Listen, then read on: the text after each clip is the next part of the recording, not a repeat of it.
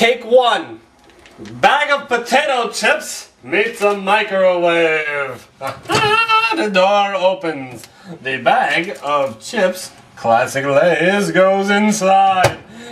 For today, we're gonna do eight seconds. Ready? Begin!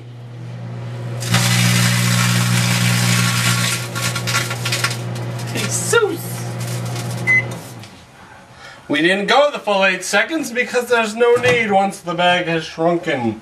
And ooh, it is very warm. And also smells partly like burned aluminum foil and my anus when I've had too much cilantro, as the Mexicans like to call it, the aluminum foil of the vegetable world. Yes. We are with the Lovely bag of potato chips. It's a little bit lumpy, has cancer over here, as you can see.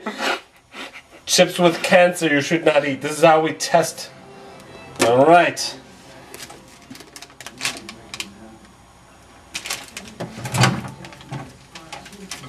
Ugh.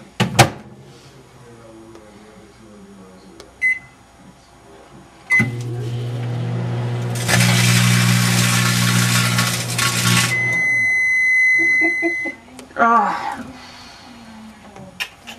Da, da, da, da, da,